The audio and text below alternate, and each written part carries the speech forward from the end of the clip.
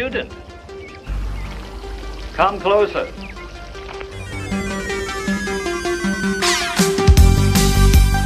You're listening to the Kung Fu Podcast presented by James Still I don't care if it's Muhammad, Imard, Bruce Lee. and Steve Newby. This is the original Five Fingers of Death right here.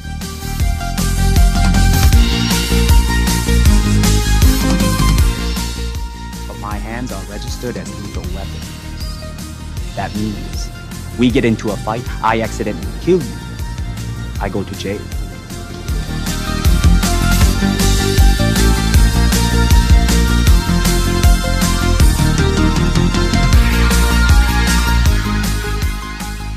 Okay, I? I'm not. I'm not breathing now. O- o- Obviously, I'm breathing. what I mean is, you can't hear me like, ah, Steve. ah." Yeah. So you okay?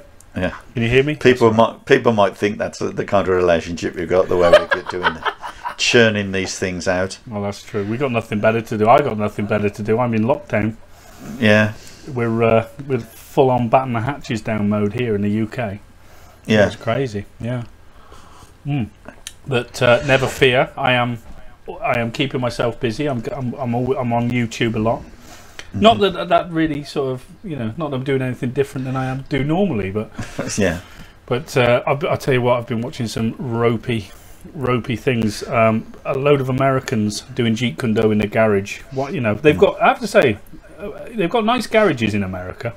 They have. Yeah. They're nice and big, but Yeah. uh, oh my god, some of the stuff they're churning out, you know. And uh, the thing with Jeet Kune Do, I was watching it. I can't. What's it called? New England Jeet Kune Do or something. And uh, bless the guy, like he's so confident in what he thinks he knows, and he's always he's got all the po- uh, posters of Bruce Lee up in there. He's reading the quotes of Bruce Lee. You know, my Sifu, my Sigung tell, tells me to go and watch movies. You know this, that, and the other. And then Yeah. you know he's doing a self-defense skit with this guy, and actually kicks him in the balls. And you know this poor guy. And bear in mind, this guy was covered head to toe. He looked like a ninja turtle in all this uh, protective equipment, and somehow he snuck a, a, a, a kick to the groin in, and he just went down like a sack of spuds. It was hilarious.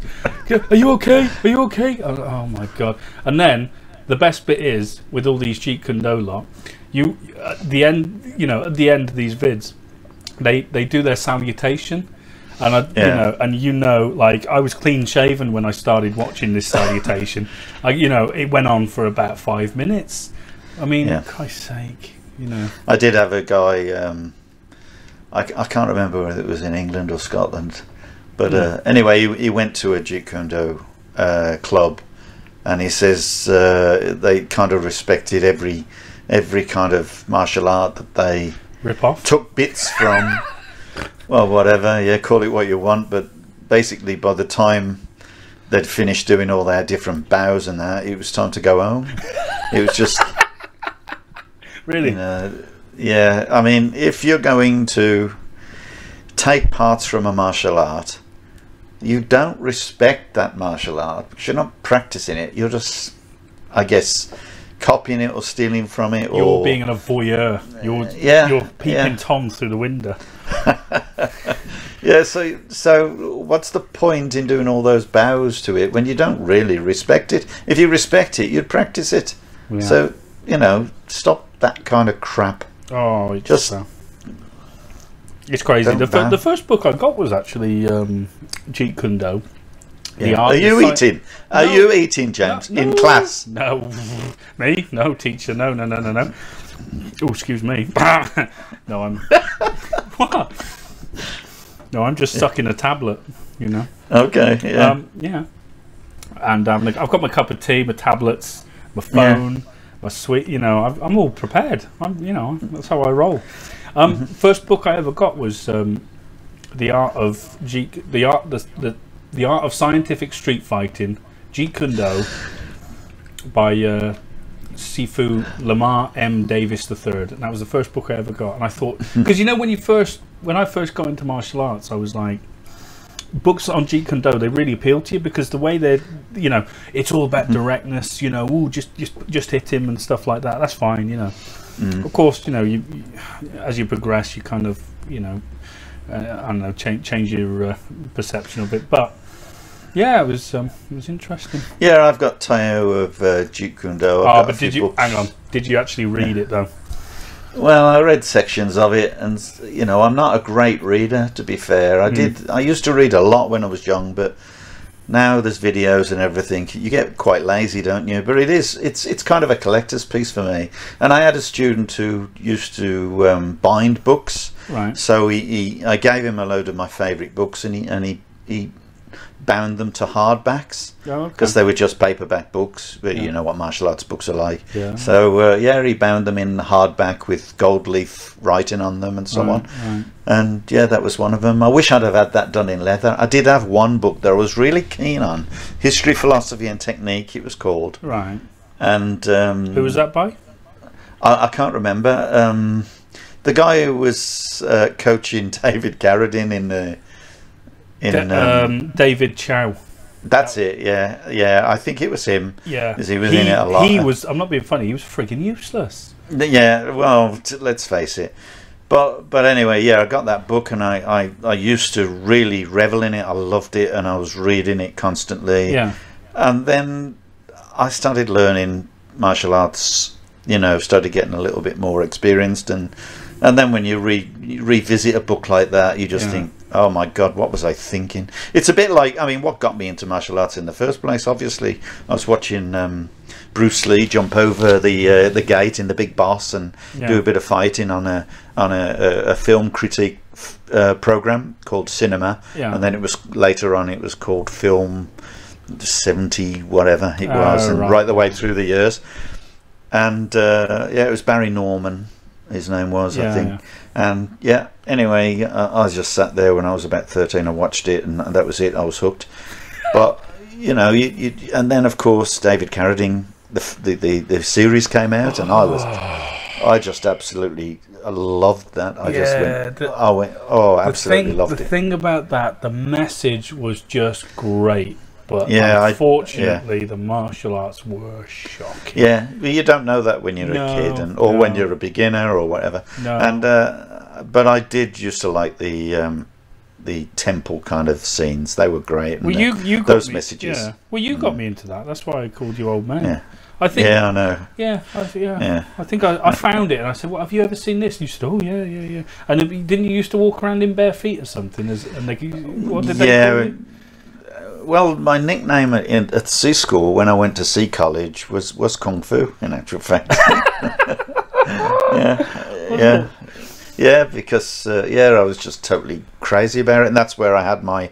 I got a tattoo on my left arm, which is Bruce Lee's signature, which was out of a book, uh, a magazine that I had with Bruce Yeah. Lee's signature on it, and everyone was having like mom and dad written across their forehead and Yeah. stuff. So you know, love and hate and all that across Yeah. their knuckles.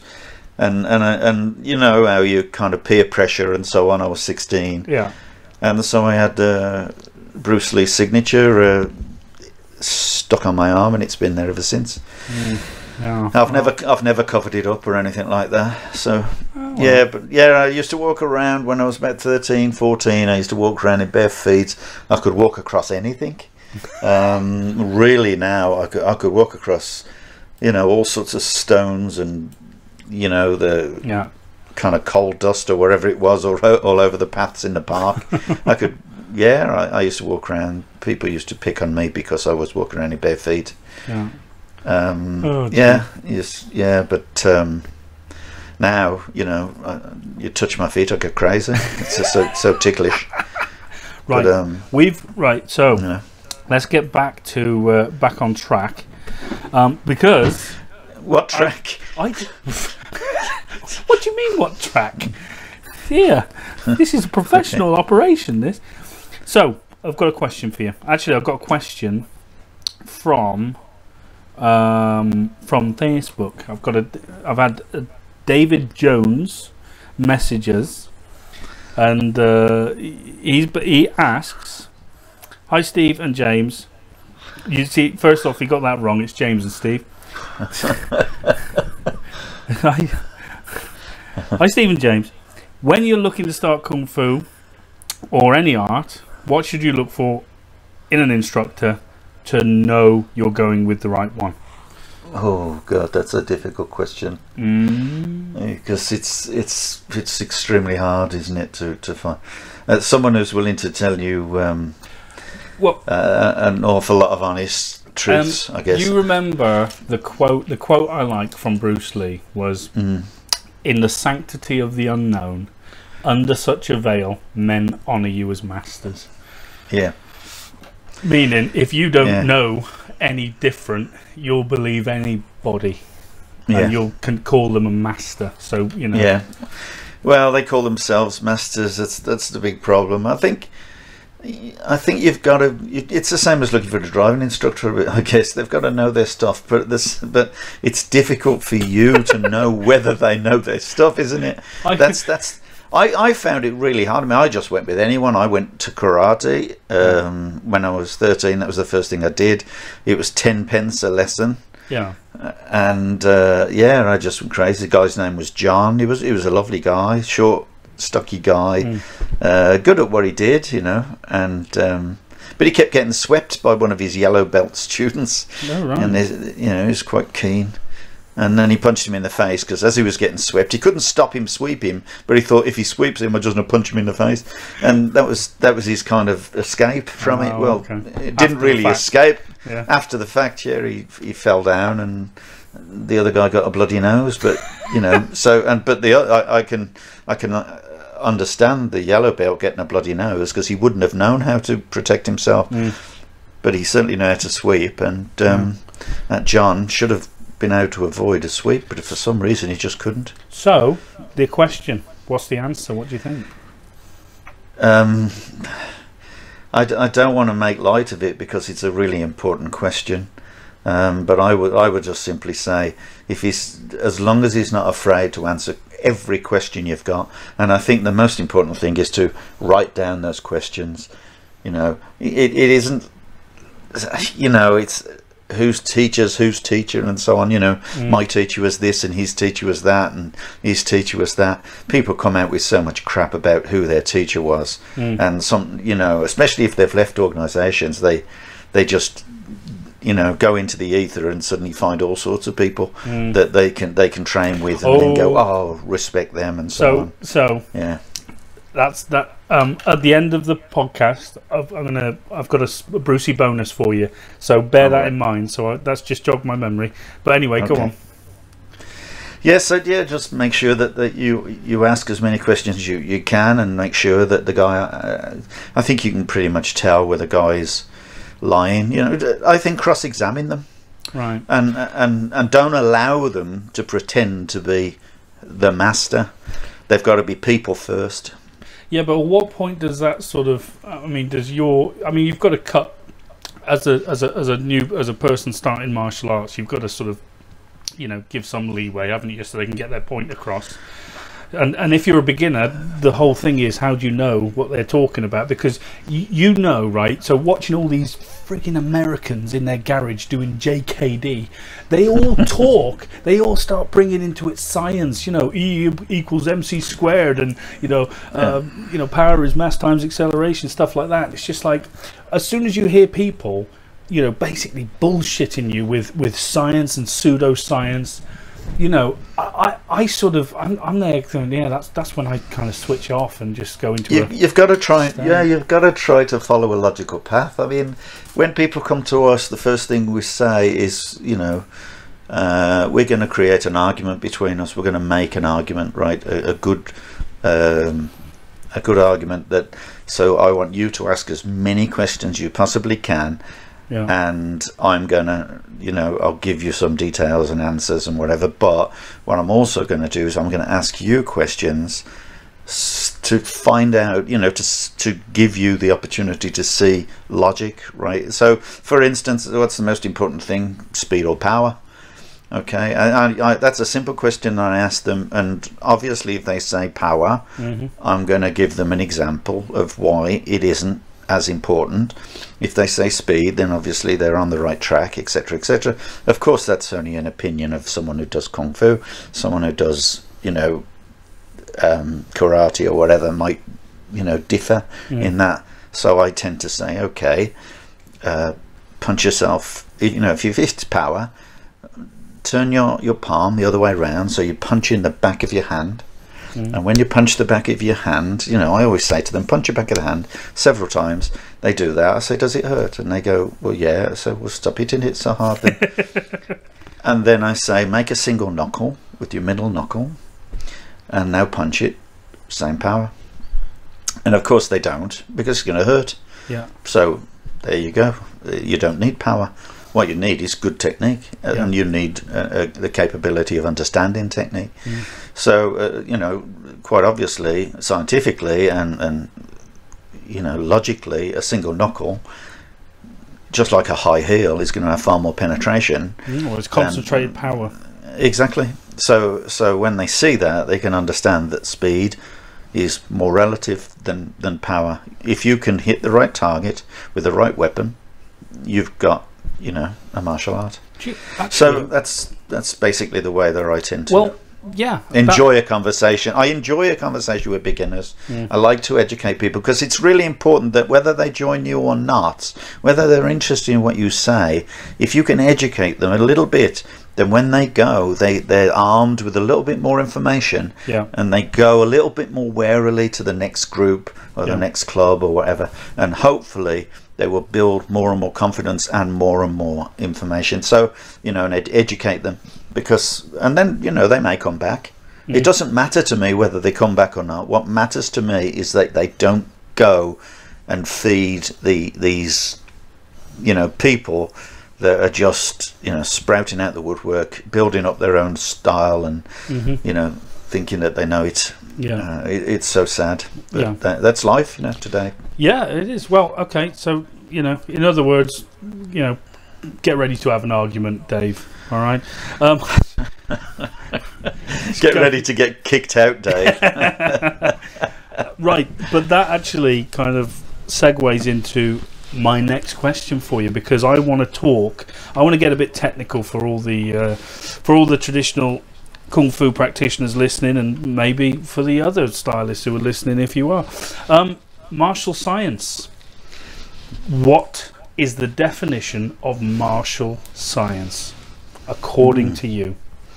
Hit me. Well, I'm not a, I'm not an educated person, but um, as far as I'm concerned, martial science is anything to do with fighting. So it's basically working out the fastest way to strike someone with the least amount of effort but the maximum amount of energy. That that is really the purpose of of a martial art to try to get the best, you know, power or the best weapon, if you like, um, you know, with the most destructive power Right. to do the job.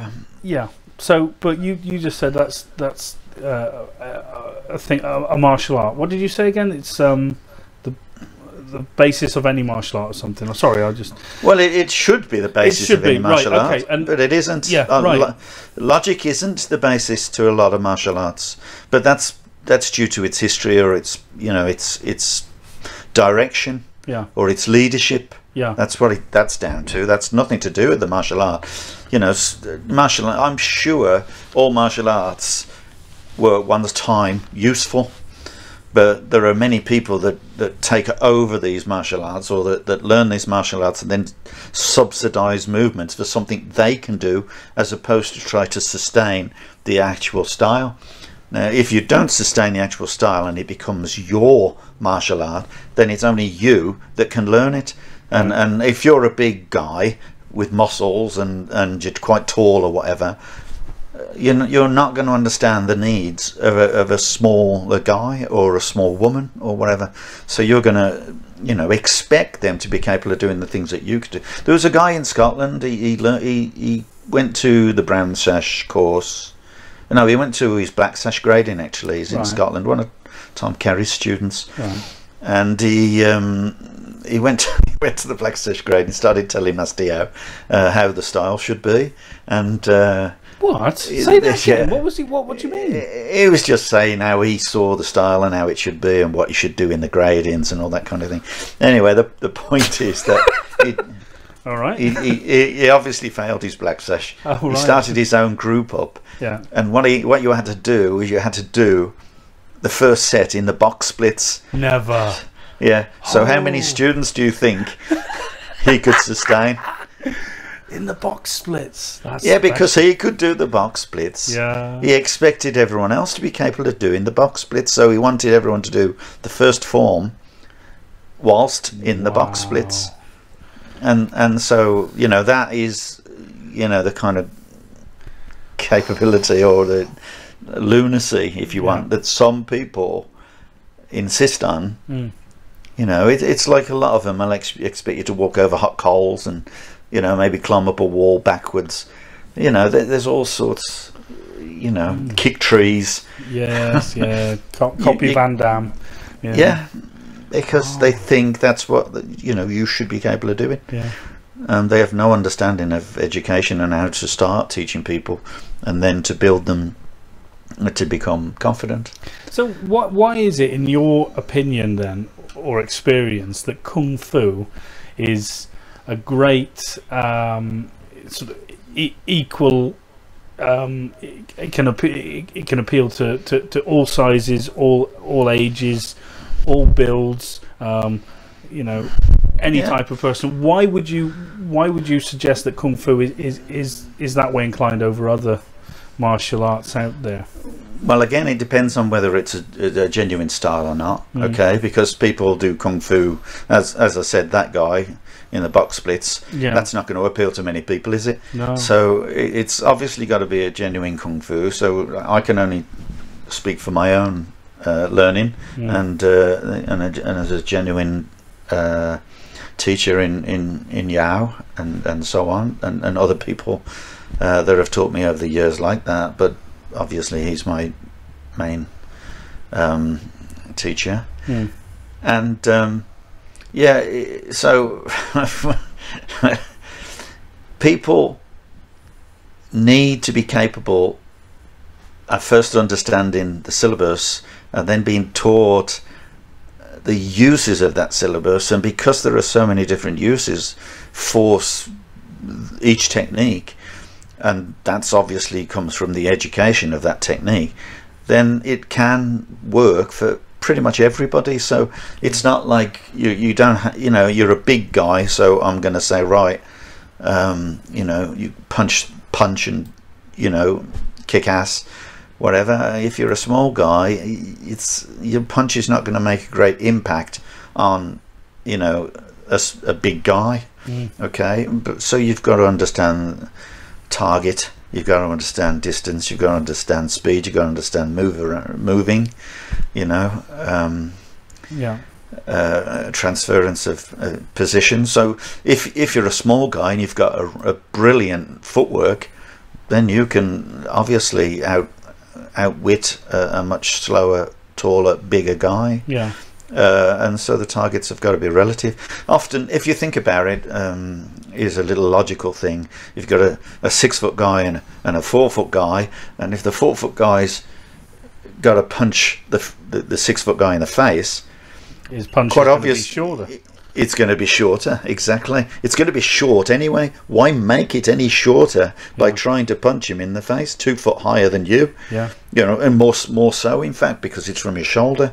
So you know, it's it's a bit stupid to to think that. So you've got to you've got to learn from people who will teach you the martial art Yeah. Right. and they will teach you the usefulness of that those those techniques not just you know call it something it's and it's it's throw great, yourself around Yeah, I always the, the way I always thought you taught. It was a very, very uh, used it as a great equalizer. Like you know, it, there was something for everybody.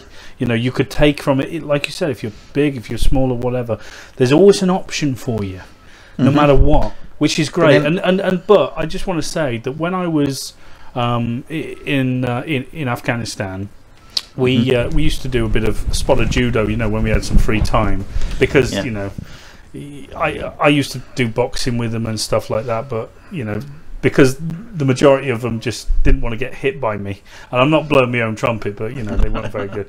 But we used to uh, train a bit of uh, judo, and uh, there was a couple of the fellas I used to train with who were really, really into judo, really good. And and one of them actually was really, uh, really quite technical with it. A guy called Jay, um, fantastic bloke. And um, anyway, so we just used to have, you know, every other day our little judo lesson if we had free time. And uh, then the one one day we we uh, we had a guy come and join the group. His name was Bean. Now this guy was about seven foot, built like a brick shithouse. You know, he was huge and real. Did they call him. Beanstalk by any chance? He was huge. Had not done anything in his life, you know. No martial art, nothing like that. Just pure raw power and all the rest of it. Anyway, so we start. We everyone started rolling around with him, you know, and within the confines of the uh, the judo, what we were doing, nobody, and I mean nobody, could do anything with this guy in terms of hold him on the floor. In fact, as soon as he got you, he just lay on you.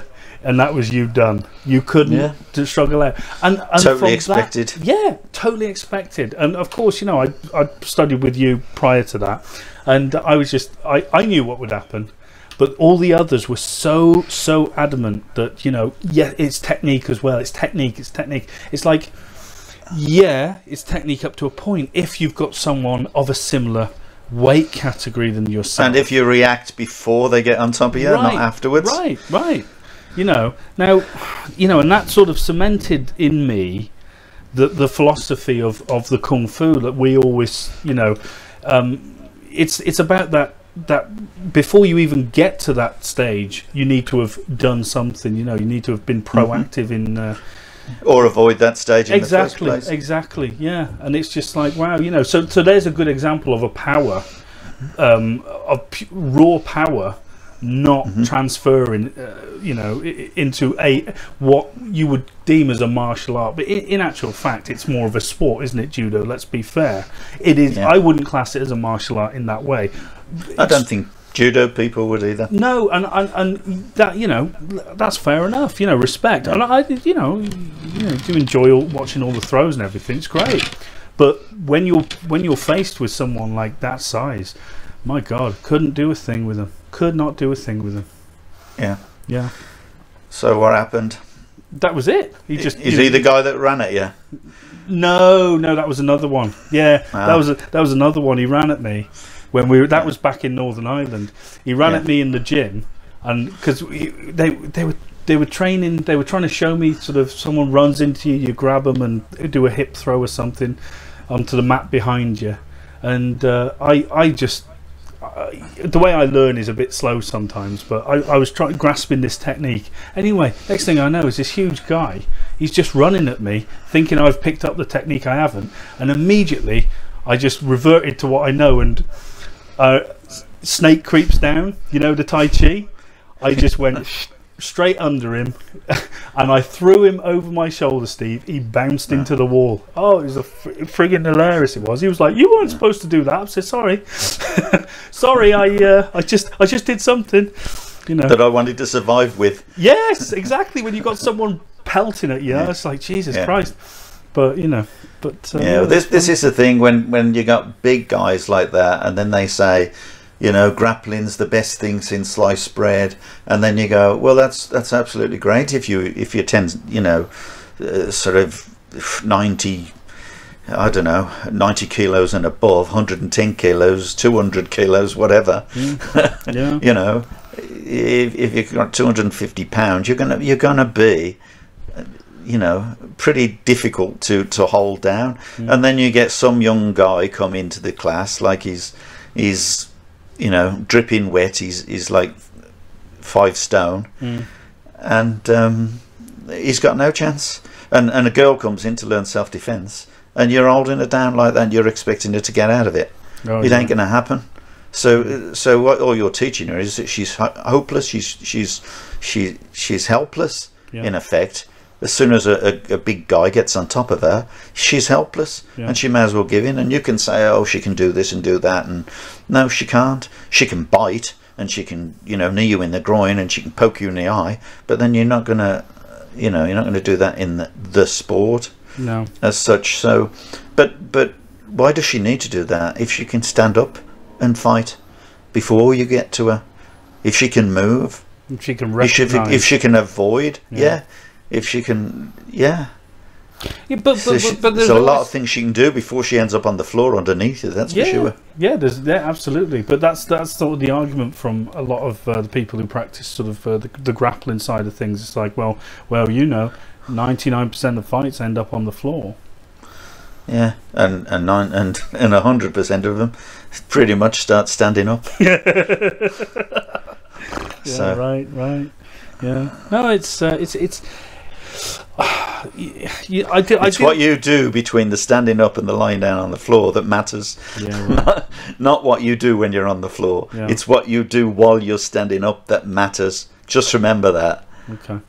you know and if you're a small person and you, you expect to survive on the floor against a much bigger person who's on top of you well you should have thought about something to do before you got down to that position I, I think that seems that seems reasonable to me.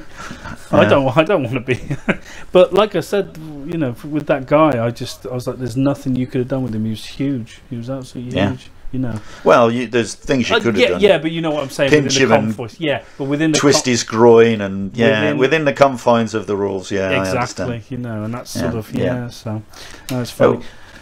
But right, what I want to do is ask you. Yeah, can you tell I got questions written down?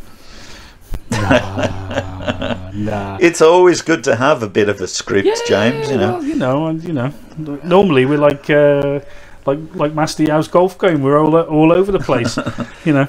Um, so, what? Don't tell him I said that. okay. Right, white sashes. Beginners to white sashes in Lau Gar. Right now, now we've got to be sort of reasonable here. We can't. You can't. There's only so much you can explain audio, you know, on a podcast or whatever. But if you were to give any advice to um, white sashes, beginners rather to white sash, what would it be? What would you say to them in terms of uh, you know their progression or you know whatever? Go. Yeah, I think anyone who starts doing martial arts tends to look at the technique and try try to uh, emulate the technique, uh, but but they don't tend to think about what is it for. So they do the example of what they've been given, but don't consider anything else.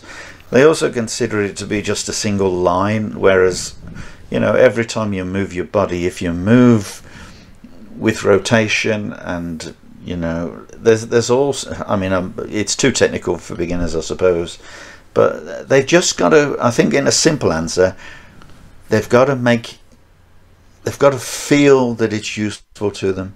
They've got to feel that as they do the movement they're they're doing something they're performing something. They're not just doing the movement they're performing it so that it has a purpose. Yeah, and I think if they practice with a purpose, yeah. then they'll improve much quicker and they'll get more excited about it. I tell you, one of the things that you see a lot of beginners um, doing, um, I think, is when they're training the hand blocks and the kick blocks. Obviously, you're in the confines of a syllabus. You know, I- I'm in a Yeah. left fighting stance. I'll step punch. You step back, block with your left punch counter.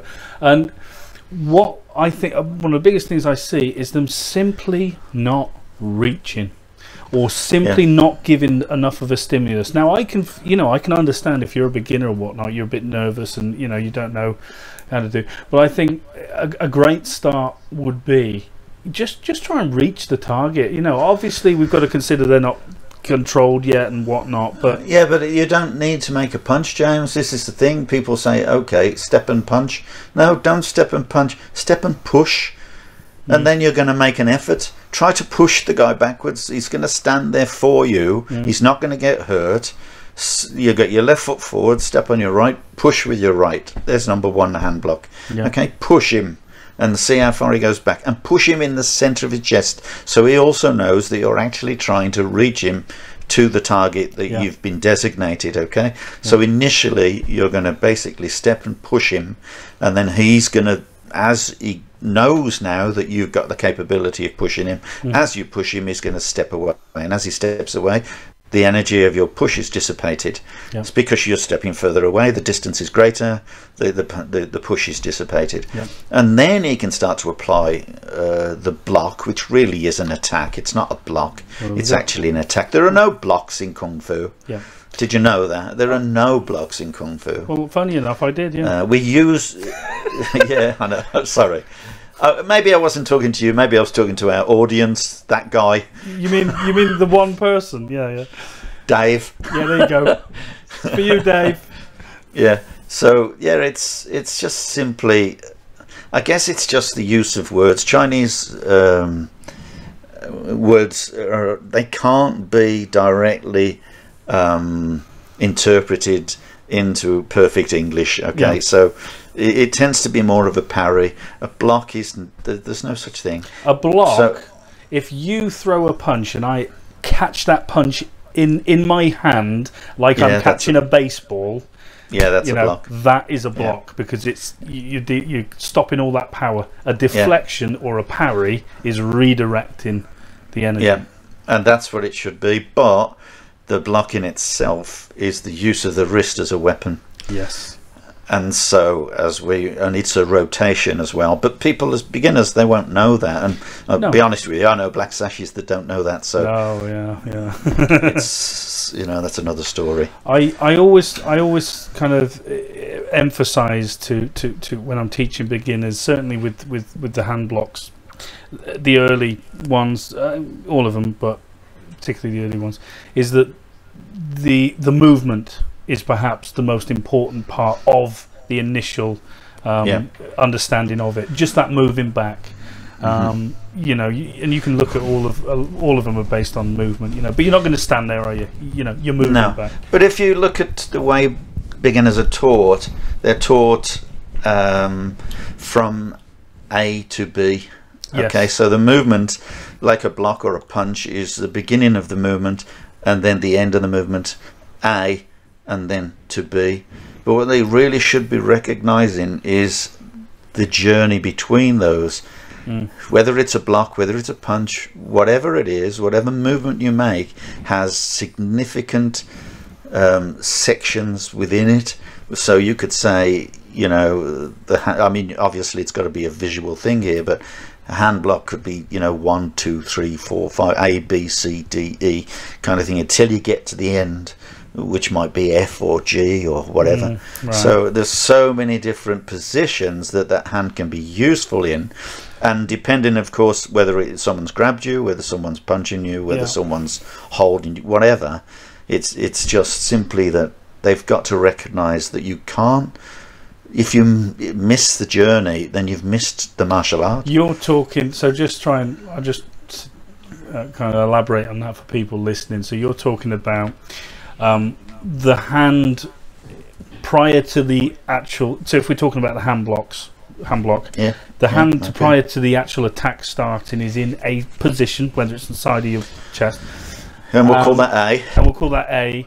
As it moves out, there's there's motion in the arm. It's moving forwards. You're Well- it up and oh, okay, Is it is it moving forwards or are you moving backwards? well, okay, forwards, backwards. Mm. Yeah, well, if you're moving backwards, then the hand isn't moving at all. It's just changing shape. but it's not moving to the side. Everybody, so just so you yeah, know, right? There's yeah, no you- left and right in the hand block number one. It doesn't swing like frigging karate. Forward and backward. Do you see? Where, I bet there's a see- lot. Of, I bet there's karate guys out there going, "What do you say? What do you say? We do this. We do this." No. So This is the well, problem, though. Talking about it on a podcast, you can't do it. But what you see? Because if I say something, uh, and rightly so, you'd say, "No, it's not. Is it? Is it? Is it?" And Yeah. it's like how you know you. It's impossible, isn't it? It's an impossible Yeah. task. You know. It is, but but having said that, I mean, when you look at techniques uh, close up and you see the way that people try to develop energy before they do the technique, unfortunately, that is simply going to be too slow because you know they're going in one direction and then back to the original position and then onwards to the target. So that is just a very poor Yeah. uh, scientific principle. The it the just hand, doesn't the hand, gonna happen. the hand is moving forwards relative to your body. Hey? Hey? Yes, or the body, or, or the ah. body is moving backwards relative to your still. Oh, you, you, you! You had to say that. Okay. Yeah, but you know, but it's so so. Well, hard, the, the thing is, how can you be moving forwards if the other person is coming towards you? So as the I'm person closing is the coming, gap, though. I'm closing the gap. but the gap will be closed. Well, I'm just With your- expediting that by moving before them. The gap will be closed by your arm, but will not. But the gap will be expanded, giving you more time as you move backwards. Sorry, I'm just going to go and buy a gun. It's a lot easier. Yeah, What? So, like, you're quite an expert with a gun, aren't you? You've, uh, you, where are you in America? What was it? I was uh, well. I've competed in the the, the, the, the practical pistol championships and came. Uh, I, I think I came like sixth in Western Pennsylvania. Yeah. Yeah, I, the yeah. first time I shot out there was did something called Speed Challenge. And Yeah. because and they they loved me. They was like, "Where did you learn all this?" I said, "The UK." But you've got no guns in the UK, man. I said, "I trained with toy guns," and they looked at me and just like shut down. They said, "Oh my god." Yeah. I said, I trained Airsoft. this." Yes, it airsoft. Yeah. But anyway, Airsoft go, going back mm-hmm. on track. When you're looking at beginners, then what are the some of you know some fundamental mistakes you've seen a lot of over the years? Them make Well, the, the the thing is, when you're doing, we're talking about the hand block. If if people do Lau, then they'll understand what we're saying. Okay, hmm. one step sparring, some people will call it. Yeah, okay, yeah. where you're standing in a fighting position where your left foot forward and you step towards the person and you punch with the right hand, step on the right, punch on the right, kind of thing, and you're punching to their center. Now, often people the biggest thing that most beginners do is they overstep. So the hips are now adjacent to, you know, kind of a jar uh, at an angle, and uh, which means that the the angle of the energy is going to go towards the left. It's going to. It's like if you're standing in a street and there's a street fight going on. You watch this street fight, and the guy looks like he's swinging at at his friend or or at his uh, his you know fighting uh, enemy, if you yeah. want, adversary, yeah. And but in effect, he's trying to do a straight punch, but because he's overstepped, his fist will literally go over to the to the left. His right fist will go over to the left, so he'll swing it, and that's only because it's following his hips, it's following his foot footwork, Yeah. and so if you can get your footwork correct and you get it dead straight and level. And you put your hands on your hips and you step forward and you remain straight, dead level to the target, Mm. and then you put your fist out, then you will have a dead straight uh, punch Yeah. eventually. Okay, Yeah, no, it's uh, So- know, that that's one of the things. Uh, I think the ha- the first handlocks really are teaching you how to attack. Yeah. They're not teaching you how to defend, because if you can learn how to attack well, you can do all the others. yeah. Well, you need you need before you need a good attack before you can defend well. Yeah. So yeah, I always like that one. Um, I want to ask you. So I've, I've we've talked a bit about martial science, and you've defined it as the fastest possible technique in the with the least amount of effort, inflicting maximum damage, which you know, kind of like that. Um, I'm going to ask you in Lau Gar, we've got some sayings now. Little tidbits from uh, Master Yao, and he's probably got it from his grandfather, and so on and so forth. Now, one of them is uh, is a, is a saying by Master Yao. It's uh, an, an inch longer is an inch stronger, but an inch closer is an inch more dangerous. Now, can Yeah. you explain to everybody what that means? Well, uh, once you get that close, it's very difficult for people to defend against you, isn't it? So that that's why, really, if you think about a shorter person getting in close, what does the big guy want to do? Then he needs to try to get back to gain his regain his uh, advantage. His only advantage is that he's got a longer range. That's his only advantage. Right, st- say that again because I'm not very smart, and the people listening, I'm pretty sure, are not very smart. That's my subscriptions gone. Uh, yeah, anyone who's listening to this can't be that smart. Is that what you're saying? Worry, Is that why you keep on asking me to listen to it? Yeah, you know. Can Yeah. you say that again? But in this, it just it break go as simple as you can. So an inch longer is an inch stronger, but an Yep. inch closer is an inch more dangerous. What does that mean? it means that a smaller person if he closes the gap between a you know himself and a larger adversary it the other the adversary the larger person loses his advantage of distance Right. Of reach, you mean? yeah of range Right. yeah and and so invariably tall people like that will try to regain that advantage or they'll try and grab you of course but while they're grabbing you or trying to hold you. I mean take a look at boxers when they get tired and they get and they're fighting and the guy comes right in and so on. The, that, that, you know the only thing they can do is grab hold of each other Yeah. you know and hold on to you know and then uh, try and throw a rabbit punch occasionally trying to throw a you know an uppercut against the ribs or against the, the, the face Yeah. uh, while they're holding them until the referee parts them so it's it's kind of you know because obviously they're in a com- contest Yeah. they don't want to stop fighting so you know but that's what they do when they, when he gets too close and you just can't do anything So, so that's it. That's an inch closer is an inch more dangerous. What do you Yeah. mean by an inch longer is an inch stronger? What's that mean? Well, the guy who's got the, the longer reach has a lot more time to develop energy. It's like saying, okay, you've got a left forward hand, a lead hand, Yeah. yeah, okay, in southpaw, uh, sorry, in orthodox, Yeah. a left lead hand, Yeah. and a, a rear right hand, which is going to be your reverse punch or your cross or whatever. And of course, the cross works simply because it's got more range to develop. The left lead hand is going to be able to go faster because it's closer.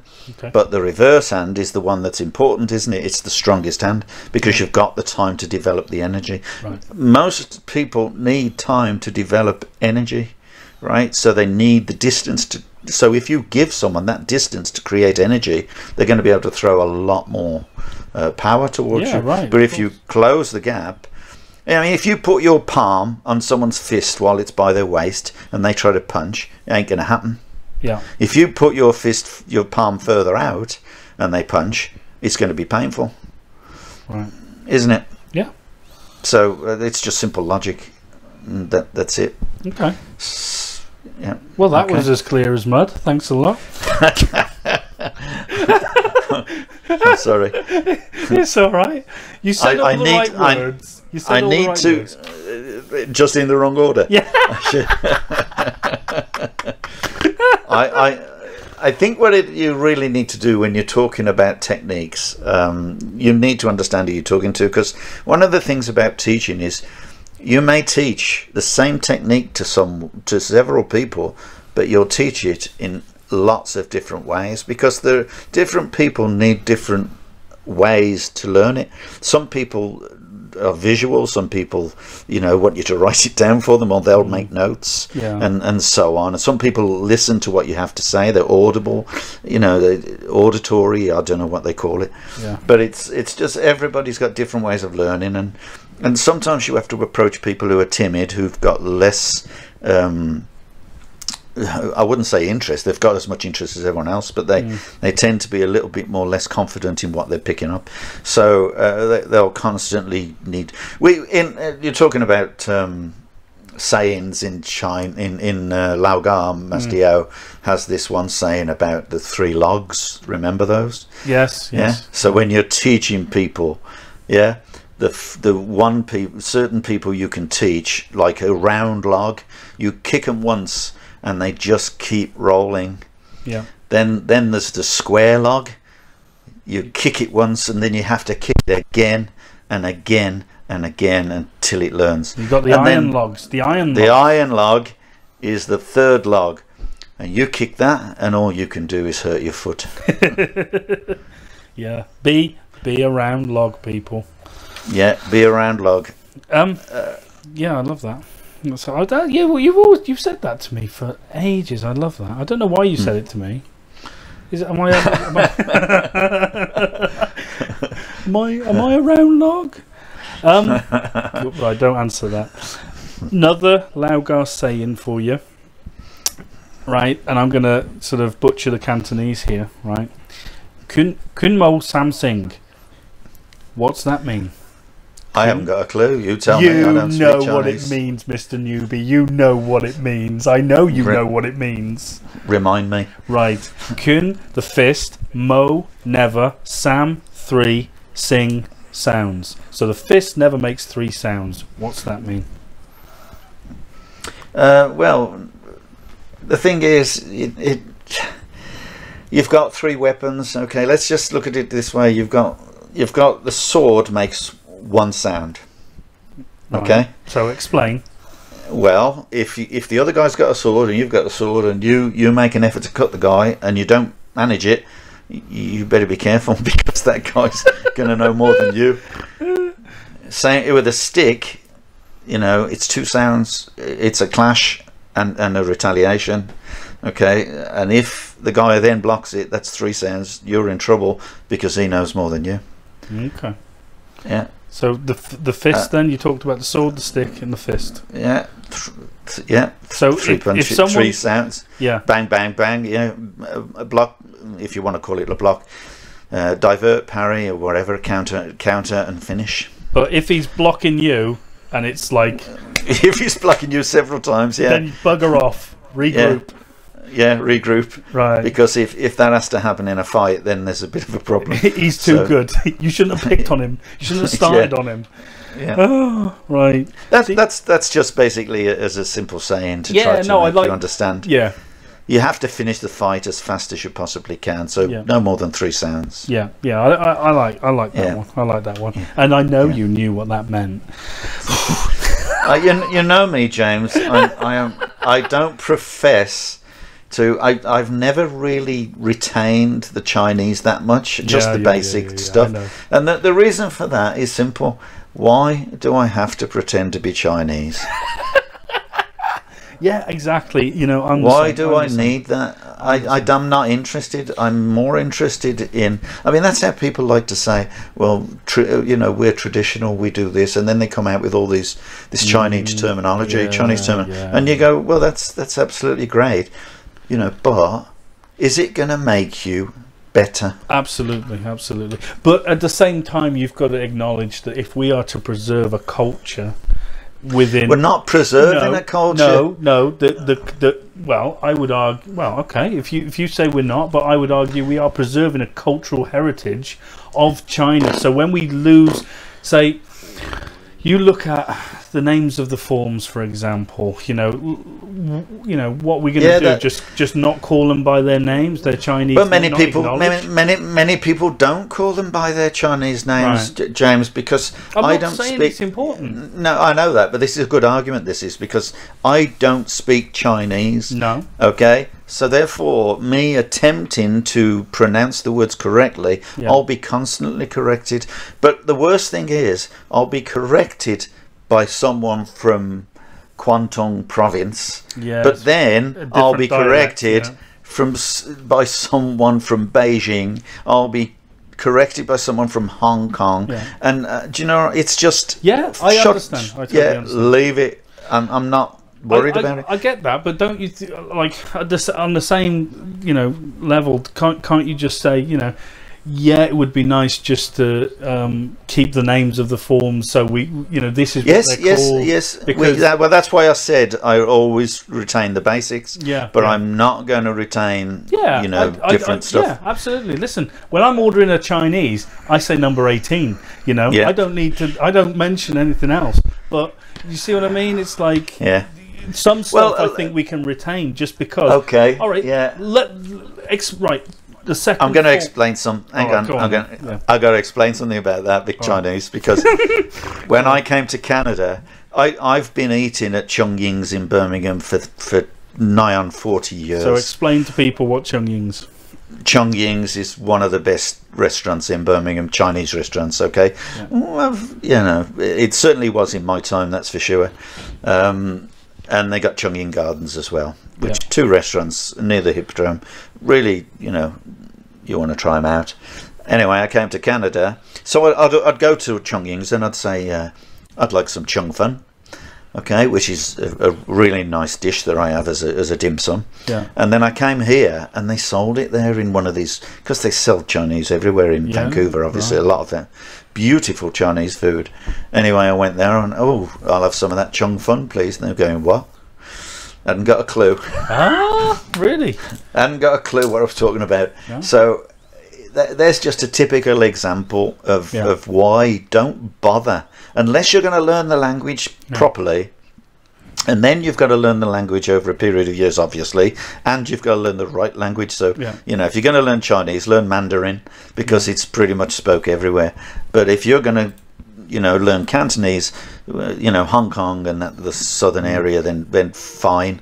But don't expect anyone to understand you somewhere else Mm. because you know they're not necessarily going to do that. Yeah. yeah. It's it's like being a Geordie. well, hey, man, what do you mean? Mm, yeah, no one You're understands you. Just keep your mouth shut because no one understands you. Okay. Says the guy from Birmingham. Yeah. Yeah, all I right, say- yum yum.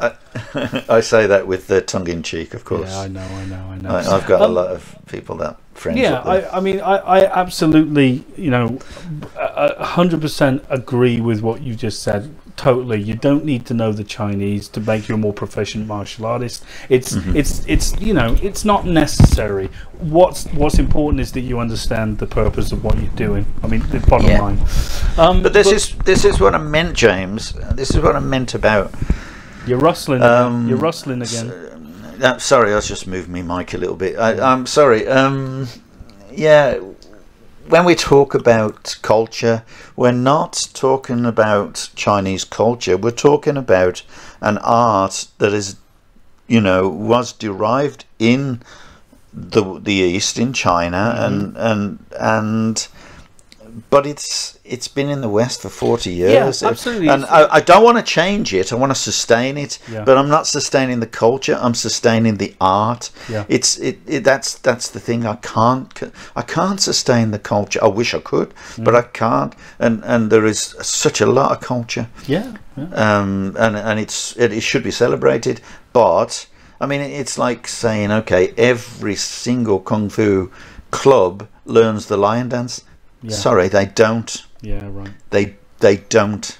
Yeah. And if they did, oh, but what about the unicorn dance? What about the dragon dance? Yeah. They don't.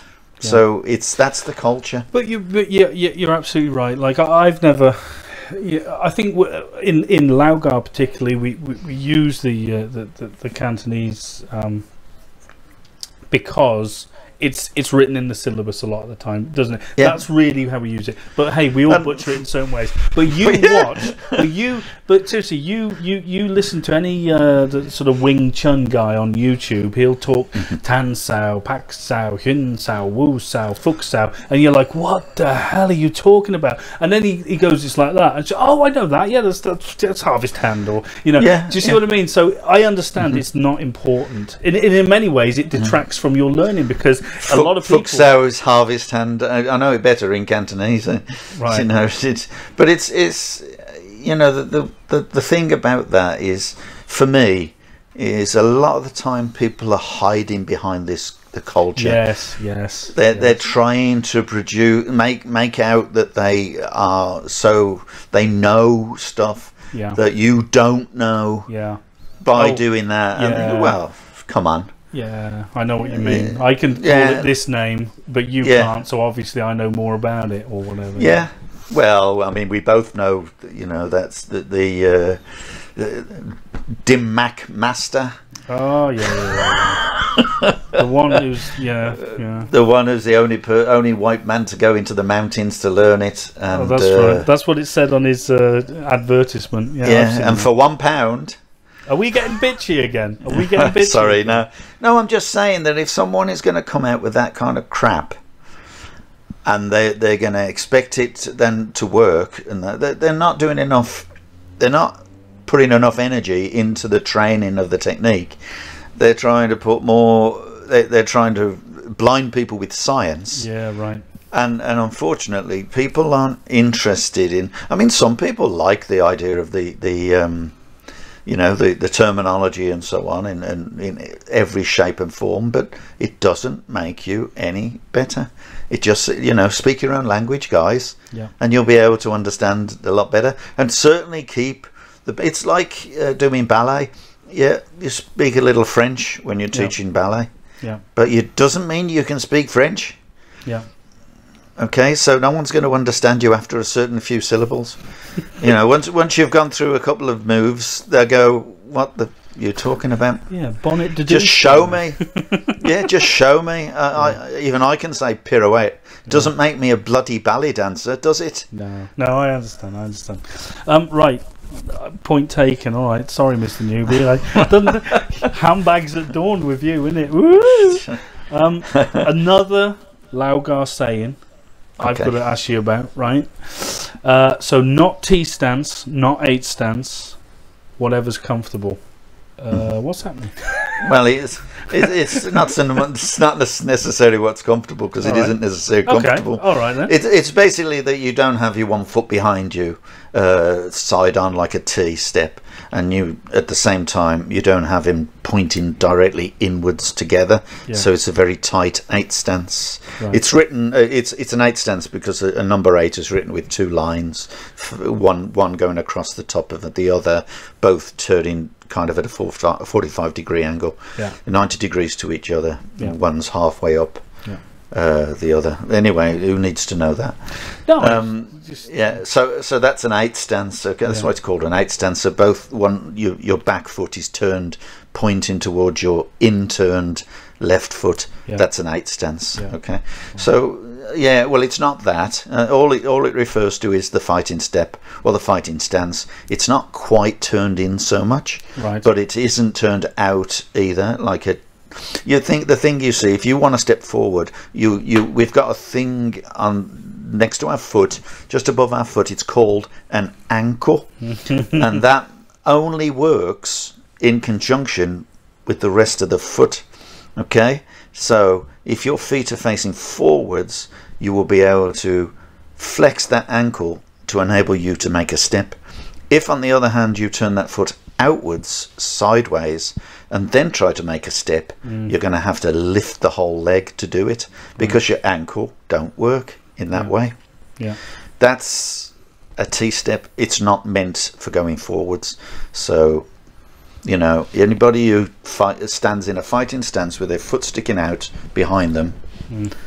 is not going to be able to go forward very much. And there lies a lot of the problems with some of these um, uh, martial arts that, that profess, you know, to be fast. Okay. It ain't going to happen. Yeah, yeah. Oh well. Um, I, I, I, uh, I'll just, I'll just go off in my direction. I don't want to go down there just for now because I feel there's a bitch coming on. Uh, No, no, no. I, well, okay. So in in Lau Gar as well, we've got. You remember that we've got a um, there's a there's a there's a sheet. Uh, there's a there's a poster, if you like, with a lot of Chinese characters on, Yeah. and uh, you've got the yin yang sim- symbol. Anyway, there's four lines of t- lines of uh, you know, text, if you like, in, in Chinese. Um, Yeah. One of them is uh, not T stands, not eight stands. Yeah. Uh, and one of them is, I believe, because there's four If- four things. Uh, Lau Gar lasts if- for a thousand generations. Is that it? Yeah, yeah, my yeah. Um, I'm sure it was written by the Nazis. Yeah.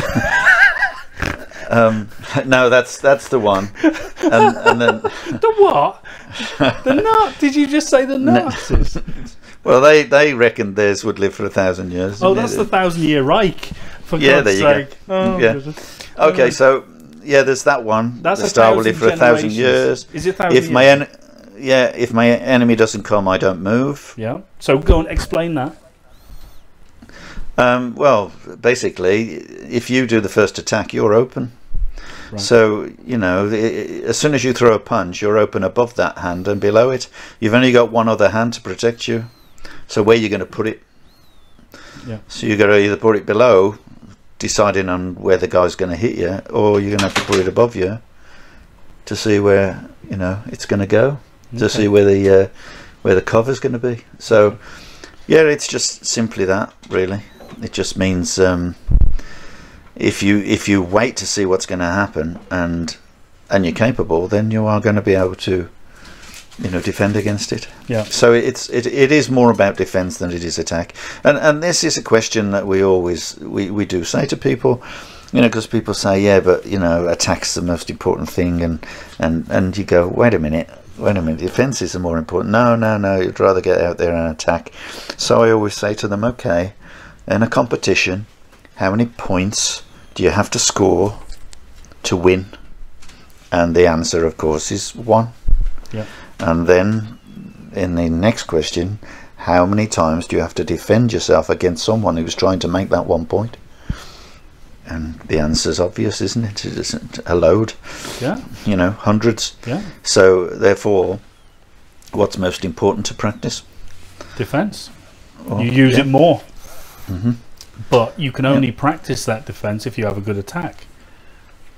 Yes, yes, that's right. You've got to be a good attacker, but it doesn't mean that attacking is, you know, No. to every anyone's benefit. Yeah.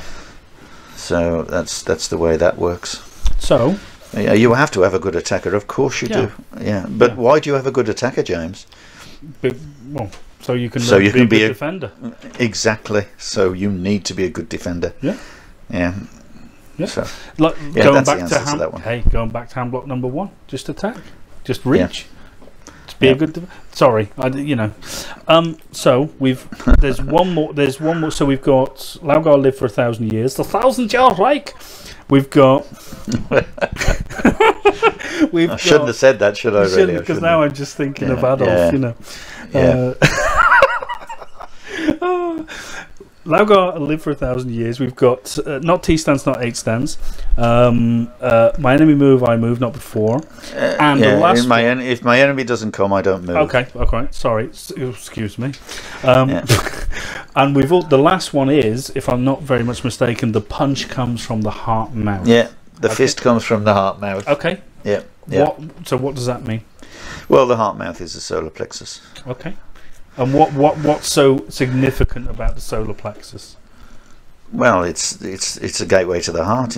So you know what the idea is: is protect your heart. For God's sake. You're like trying to draw blood from a stone sometimes, Mister Newbie.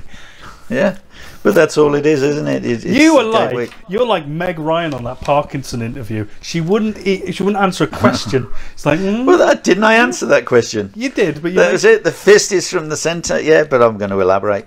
The fist is at the centre, so it's it's basically coming from the heart mouth. Yes, Right. that's that's.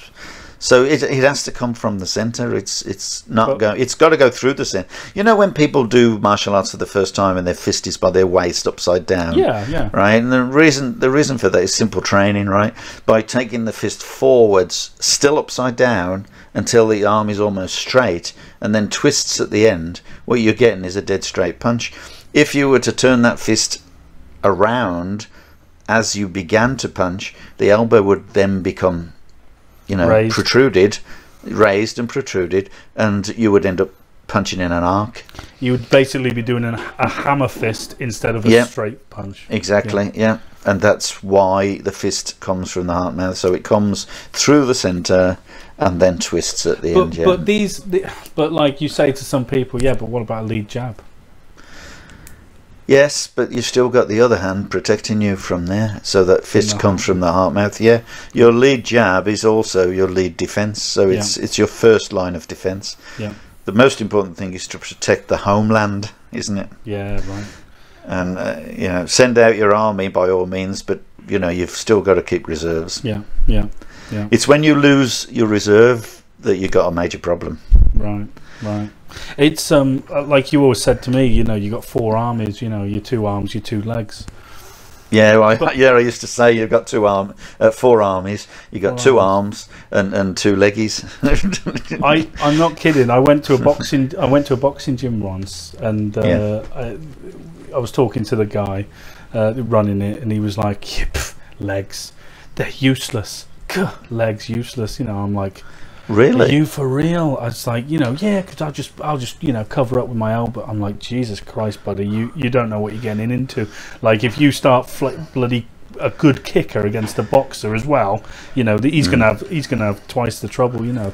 But it's again, it's that sort of like boxing. He's expecting you to kick high. He's expecting you to kick yes, high. yes. So of of course people would keep their elbows in, and Yeah.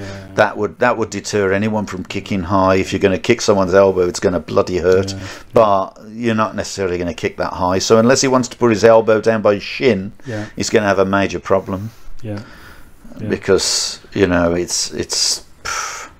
You could kick anything from your, you know, little toe upwards. So Yeah. Talking about Lau Gar, Mm-hmm.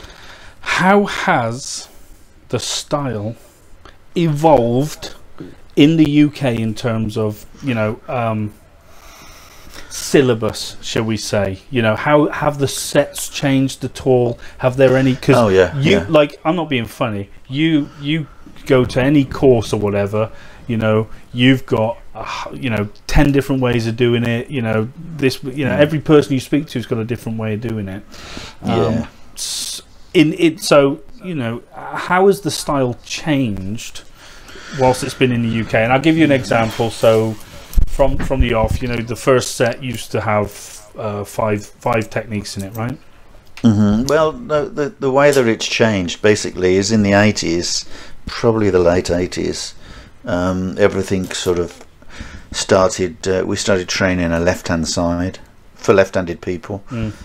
That that's basically it. So they were extended. So some the, the sets were extended, and uh, you did a left-hand side as well. So chop choy was extended. The first set was extended to to increase the number of movements. Uh, the second set was extended to have the left side and then the right side kicking movements. Um, Chop Choi was extended to have a left hand side. Farkyun was never touched. Uh, the fourth set. Right, The fifth set, Phelan Chi had a left hand side added. right. And then after that, the other two weren't. Oh, the uh, Lau Gar Kuen was was extended, but Bok Pajun wasn't touched. So yeah, I, I when was, I was a yellow, it, it was I was a yellow sash at that time, I think. But it, but but but back pie journey used to be after Black Sash, didn't it? Uh, no, I wasn't a yellow sash. So I wrote I wrote a book Hello. Um, yes, yes, I got Sorry. yeah, yeah, yeah. Thought I- Roger was after Black Sash to answer your question. I thought I was on a one-way no, no, sorry. Yeah, it's it, Oh. yeah, but because because in the earlier days there were other sets. Yeah. There was Chup Sao and there was um, uh, another one before the fourth set, uh, Farkune, uh, uh, which was a white eyebrow form. Oh. Um, it escapes me what it was called actually. Um, uh, so oh, it was called Chup Sao. That's right. The first bit was Chiao Sao Far, the uh, the the the free hand movement before the first set. Right. So yeah, then Chup Sao was um, a, a white eyebrow Yeah. form allegedly. So there, were- there were different things involved, and then um, it just became Why, why, Lao. why, why the why, why would you uh, have a white eyebrow form? Uh, well, when remember when the BKFA was started, Master Yao wanted to keep the style. Um, he didn't really want to um, sort of promote the style or give the style away, if you like.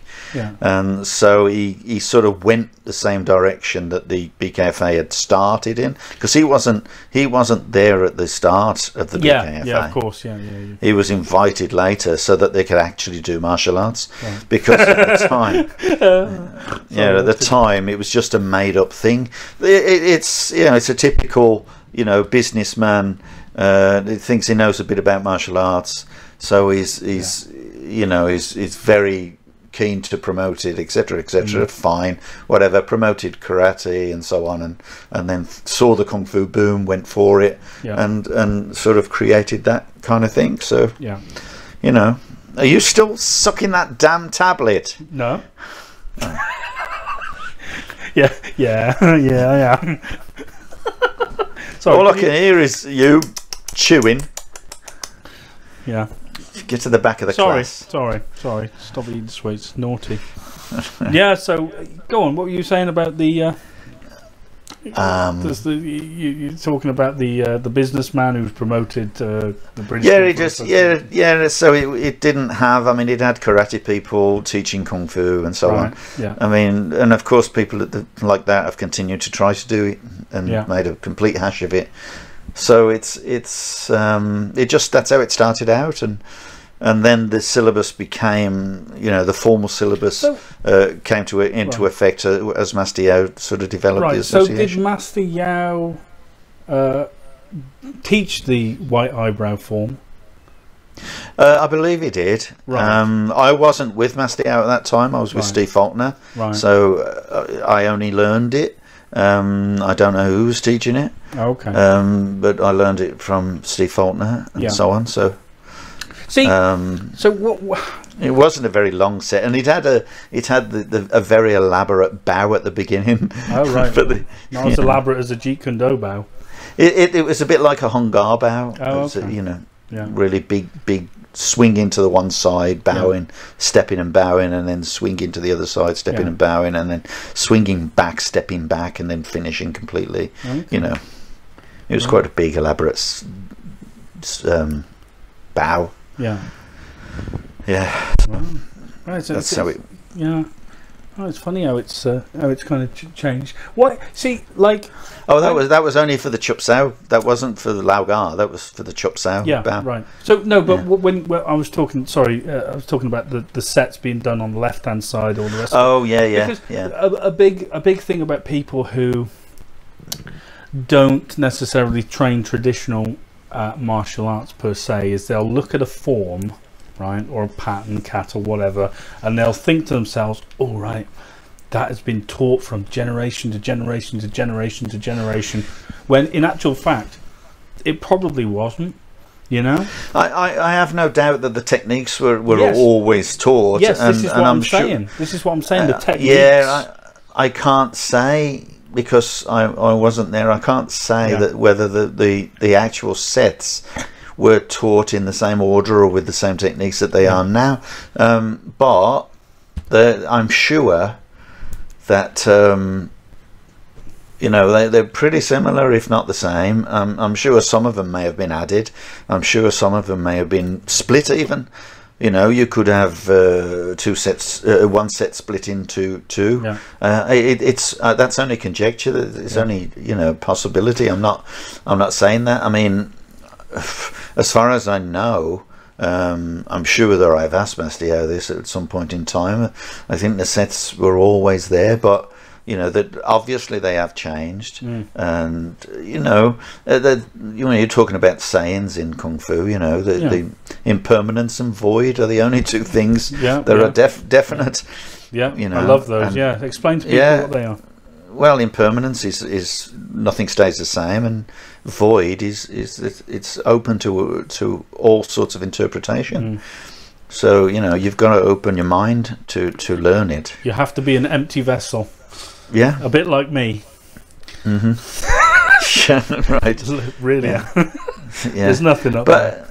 Yeah, we, we were talking about Chinese, and that that it's kind of an anecdote here. We're talking about Chinese, and people say, "Oh, you know, you, you've got to learn the Chinese and everything." You go, you wait till you get to the black sash grading. So you go to the black sash grading, and Master Yao's there going, you know, um, you know, Ma, Chintak, whatever, and you know, one step front kick, and then um, and then it's it's John Russell's turn to speak, and it's like Chin Santoy. and, and he's he's oh. trying he's, he's he's doing his best to speak with a Chinese kind of accent, Yeah. and and Master Yao's going to look at him, looking at him, thinking, "What the bloody hell?" you You can see Master Yao's face going, "What?" so it, it is. It's only fun. It's just funny, you know, Oh, because. John, John is so dedicated and so into it. Oh, yeah. That that everybody knows he's eccentric. Everybody knows he's he's a great. You know, he's, he's a great character. John Russell is a Listen, I, brilliant I character. remember the, the, the, the, summer course with uh, with with John uh, with a Yeah. microphone pack on him. Yeah, like, what? you can't. Under- the acoustics are just terrible in some halls, but it's funny. Yeah. Yeah, brilliant. Yeah, Yeah. no, I'd love that. But but John has always been a, a really um, dedicated individual, Yeah, and yeah. he used to travel from Bristol every week to the centre in Birmingham, and eventually he got a job in. Um, he was a teacher. He got the job in uh, college in um, in in near Birmingham. Yeah. No, I, I, I, I honestly, I've, I've met him once, and I was with Mm. you when we were at a competition, and Hmm. uh, you, I think you introduced me, and he looked at me like up and down, and then just totally blanked me. I was like, yeah, fair enough. but, but I didn't expect anything. Like I was like, you know, he said, "Who's this? Who's this? Whatever." Well, Next, when I when I was yeah I know my when- place, Mister Newbie. I know my place. when I was living in Scotland, I and and it became very difficult to get lessons because I would I would go to Birmingham for my lessons with private lessons with Master Yao, and uh, it was on a Friday. I would go on a Friday, so my lesson was at two o'clock, and you can imagine the drive down from Scotland meant I had to leave quite early. Yeah. So my daughter wasn't able to go to school on the Fridays. Every Friday I went to a lesson. Right. And then the school got in touch with us and says, "How come you, you, your daughter's not at school uh, on Fridays?" You know, and so I kind of had to nail that, you know, to put that, knock that on the head, and say, "Okay, can I get lessons any other time?" Master Yao couldn't do it, so John was happily was willing to um, to take me uh, for private lessons on a Saturday, Right. which meant that I could go down on the Friday night after Yeah. my daughter had finished school, Yeah. sleep at my friend's house, and then um, do the lesson with John on Yeah. a Saturday morning, Oh, eight thirty. That's great. yeah, which yeah, and I used to pay him with a uh, cup of tea and a flapjack. Oh, see, that's, that's, that's where I was going wrong all these years. That's the way. That's the way John is. You know, Yeah. he just had no Yeah, no interest in you know any money or anything for the yeah, lessons, and he just was happy to have a cup of coffee or a cup of tea and a, a flap flapjack he had uh, when we sat down and had a, went to a cafe. yeah. So yeah, and it was That's a lovely yeah, story. interesting. That's, that's, yeah, that's really nice. It's it's especially funny how you put your kung fu training before your daughter's education. Yeah, I know. well, you got to make some Well, it- uh, sacrifices, you know. I, I could not go up to Scotland and still and not train, which I is know. why eventually I had to leave Scotland because, you know, but I was still teaching it. I was flying up there every month to to do the courses and gradings eventually and so on. Yeah. And uh, and obviously I left people that I thought I could trust in control. Well, And uh, yeah. Well, you know, here's it, well. rest is history. Well, I was I was snooping around the other day on various social media sites, and I came across a a post from one of your former Scottish students. Oh, and yeah. I it, it intrigued me, and I'll tell you why it intrigued me, because, well, as I read it out, you'll see. You, maybe you could fill in a gap, you know. so um, no names, Okay. but I'll read. I'll read it verbatim. It says uh, last night I was honoured to receive this UK Martial Arts Show Hall of Fame award. It was a fitting recognition for my 31 years studying and teaching kung fu most of which wouldn't have been possible without such fantastic mentors and students.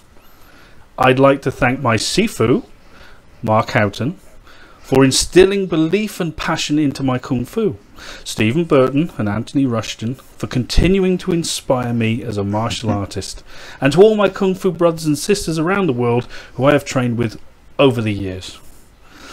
now, I know for a fact that, that, that he trained with you for how long? Fifteen years. Of his 31 years. Now, why on earth were you not mentioned? That's what I want to know. What, First of all, I'd like to know where the thirty-one years came from. but oh uh, Listen, why wasn't I mentioned? Yeah, why why- wasn't I mentioned? why weren't you mentioned in that? That's Uh, what well, we were- what have you done? we- What have you done to these to some of these ex-students, eh?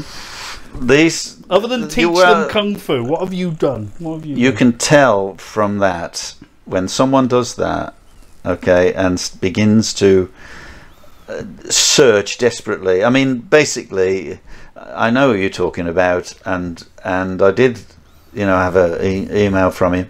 Very nice email, I have to say, saying how he thanks me and was dedicated and so on for the last, and he really enjoyed so many years of, you know, he's the one that coined 15 years. I don't know how long he, st- he stayed for.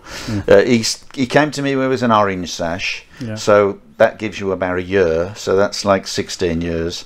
And then he was with me for 15 years. And then the next thing I know, they were training with uh, this Steve Burton guy Yeah. and Anthony Rushton, who does Tai Chi. yeah. Yeah, and he and and basically they were, um, yeah, they just started uh, I suddenly found out.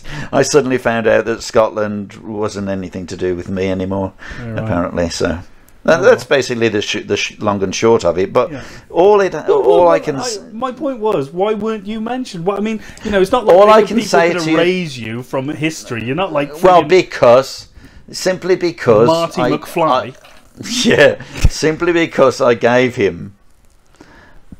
I told him what I thought.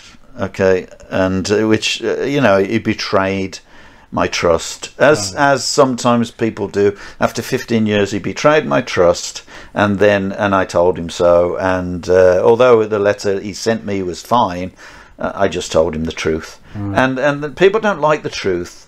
But the the problem is with someone like that who then goes searching for identity, and they they desperately need someone to recognise their ability, and yet they hide their history from people. Yeah. But you can't hide your history, you see, because if he spent 15 years with me and he's only been, I mean, it's only been seven years, okay, since they they they did that to me, Yeah. then uh, all I can say to you is everybody that trained with him while he was with me, all the people that were in Scotland that trained with me and him under me know where he comes from. Yeah. They know he's lying. They know he's, you know, trying to um, change history.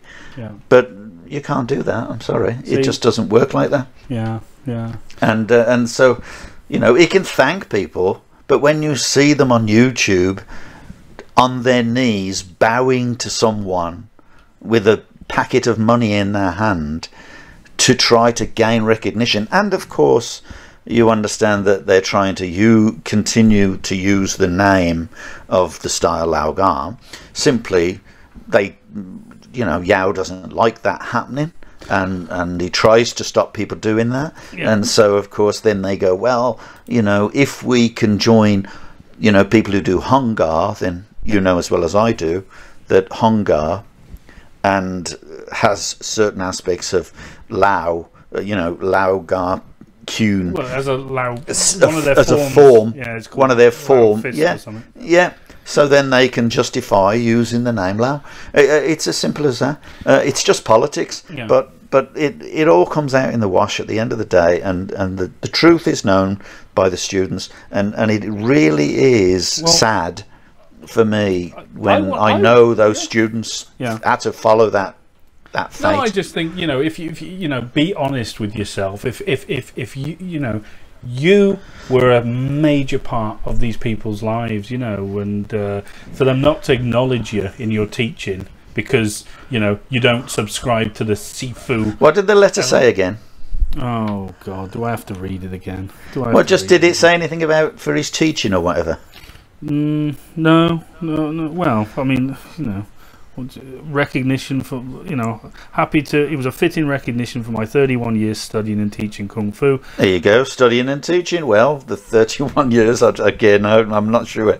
I'm not. I don't know where that came from. Wow. Uh, but um, he- who Well, taught I- him to teach? Yeah. Who t- yeah, but, you know, yeah. Uh, yeah. But And I remember why- him coming to the nationals and, and apologising to me and wish he hadn't have done this and done that and done the other. And in the next breath, he asked me to come and do a course for him. and I told him where to get off. Yeah, that, yeah. It's just how could you possibly steal someone's uh, organisation from under their feet? Because I, I had no, you know, no way of going back up to Scotland and so on, and and then, you know, sorry, I have to pause for laughter. Um, and then in the next breath, go, would you come and do a course for me, like as if he wants me to work for him in some way? and I'm just thinking, do you know what? And and and it's he wasn't the only one. There were other people like that. And I just feel so sad for them Yeah. because Well- they know they they know Yes, what happened. yes. But you haven't been inducted to the Martial Arts Hall of Fame. I've had people inducted to the Martial Arts Hall of Fame. All it is is bloody uh, Martial Arts Illustrated, James. That's all it is, and it's run by Taekwondo people. Oh well. So when you go in the, the Hall of Fame, you get a little certificate. Rebecca did it. Did she? But she she she had a good reason because she you know she was a good fighter and a good you know um, representative of, of martial arts and she she did really well and she you know she she won fights not just the world championships IX, IX so she came second in that but she she's got lists and lists of of trophies from all sorts of different organizations and you know she went fighting with the the, the you know the national A, A team squad national squad of, of the British Kung Fu Association. And um, yeah she got she got a this Hall of Fame thing they haven't asked me Oh oh dear me! Oh my god, that is Yeah. funny. Oh, sorry. That's the beeper. That's the beep. Sorry, that must be. The, is that the uh, bitchy beeper that just detected us being bitchy, or is it?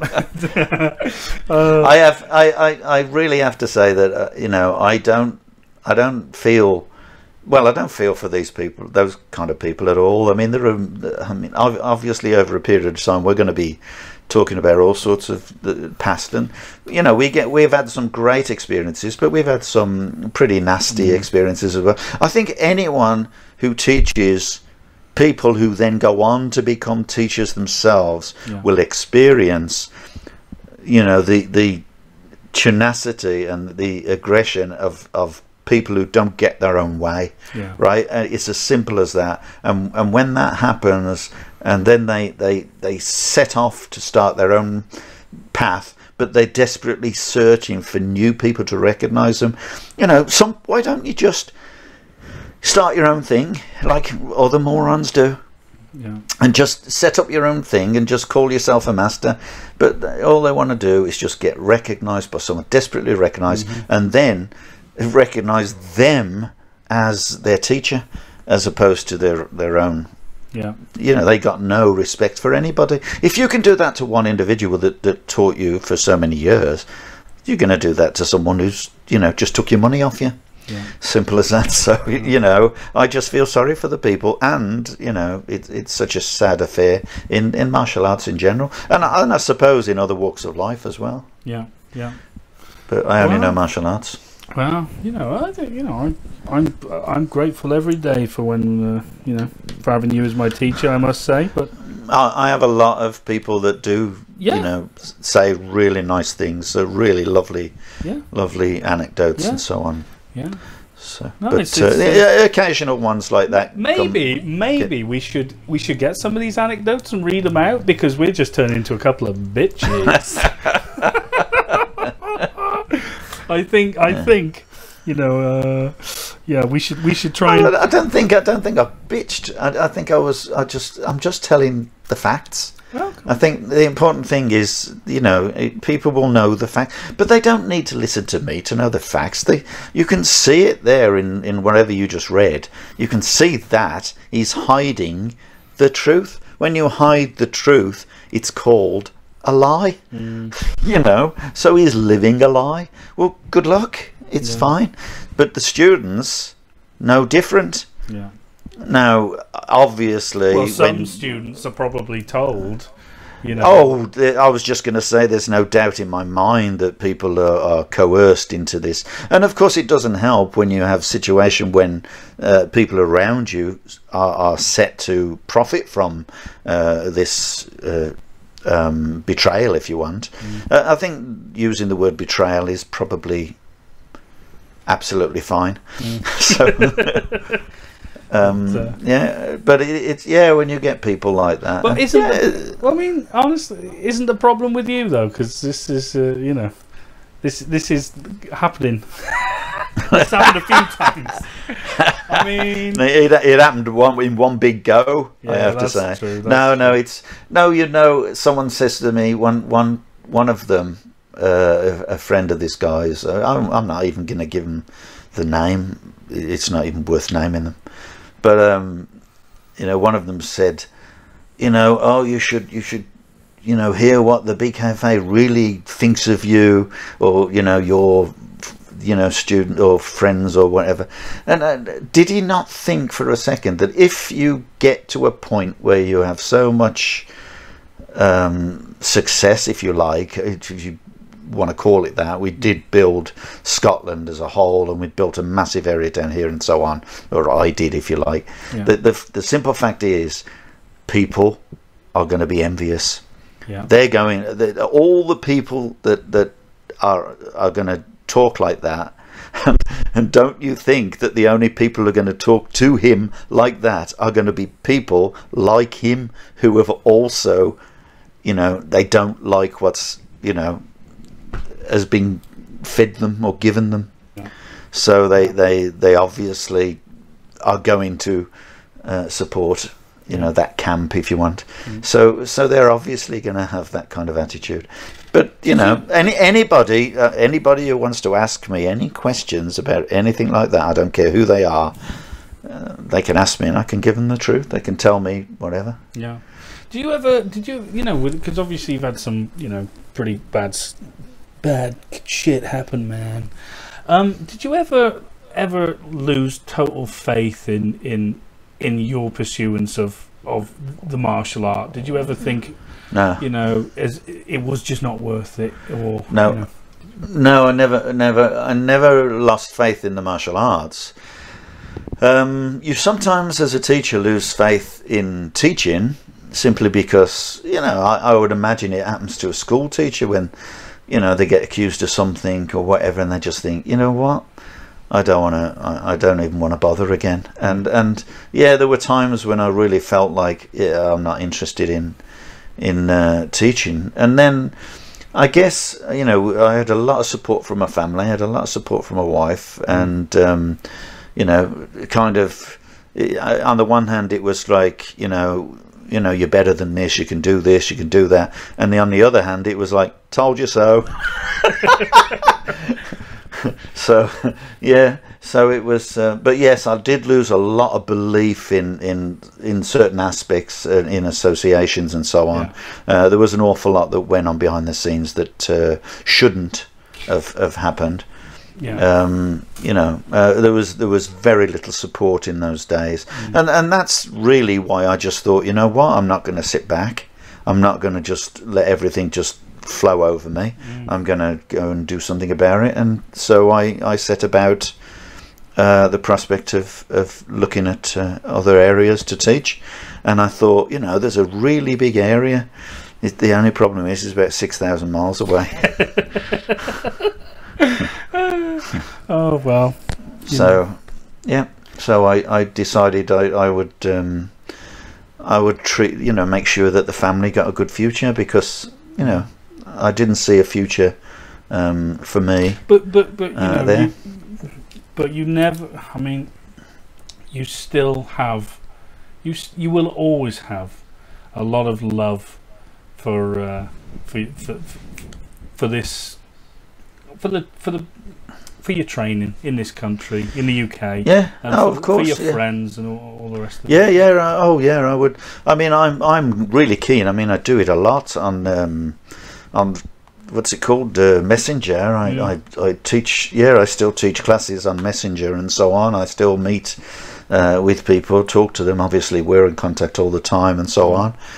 Um, we, you know, there are. There, um, I also talk to uh, my guy in um, Missouri as well, and uh, yeah, it's it, the, the technology is is doing a great Yeah. uh, favour to us. It's helping us a lot, and of course we will be doing an awful lot of video footage, an awful lot. Of, we'll be doing some video um, instruction. Yeah, Um, uh, we we have no choice. It's it's the way of the world today, yeah, and I just I, and when I see people and the kind of people that do these videos teaching what they believe to be you know the right thing. And some of them they haven't even got grades in it you know. There's one guy that we, which I am going to cover over my you know because it's it's critique okay? I don't mean to attack people but if someone deserves to be critiqued then then they're going to be critiqued. Uh, especially uh, you know if I know um, you know th- their history as I do because you know I've taught an awful lot of people and um, How many people do you think you've taught over the years? Out of oh there is no number thousands absolutely Yeah. thousands yeah, you, you teach thousands of people over the years. It's been forty years, Yeah. and uh, yeah, absolutely thousands. And and and some of the people you remember with with you know absolute you know joy, and you remember how, and you remember they're growing up. You know, you can teach someone when they're six years old, and then you're walking in in the national competition one time, and some big bearded guy shouts at you from the back and says, "Steve, you know, ah, you taught me when I was five years old," and you're looking at him, and he's like in his thirties, and and you're thinking, "My God." I'm old. I said, I I looked at him. I looked at one guy. You know, um, one particular memory I have when he's, you know, someone shouted like that. I walked past and went, "Hi, how are you?" He goes, "Hello, Steve." I says, "How are you?" I says, "Who are you?" and he went, "Oh, you taught me when I was five. and I thought, yeah, it's amazing. So, yeah, there's a lot of people like that, and they've they've got their kids training as Yeah. well, and unfortunately not with me because you know it's not possible anymore. But uh, I still keep in touch with people I've known for I don't know forty years ago. I still got students. I mean, Martin, I I, I taught him, you know, thirty years now as well. So Yeah.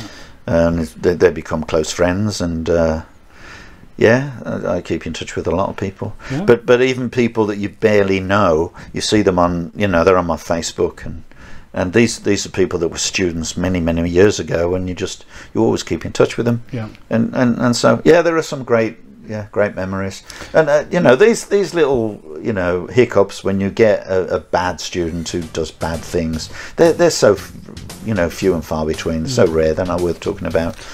Yeah. So Well, hey, guess what? We finished on a positive. Uh, uh, Guys, thank you so much for joining us on the Kung Fu podcast. And if you don't want us to talk about ourselves, send in some questions. If you're sending questions, we'll be able to answer them. Okay? Anyway, thanks a lot, guys. Take care. Bye bye bye.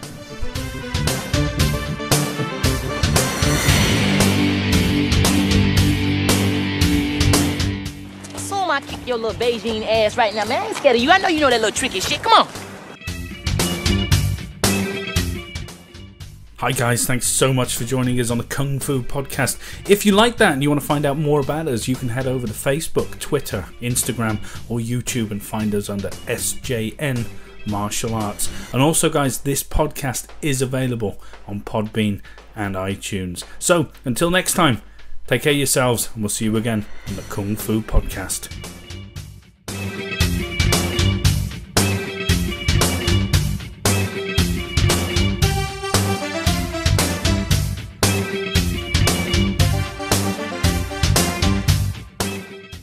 guns.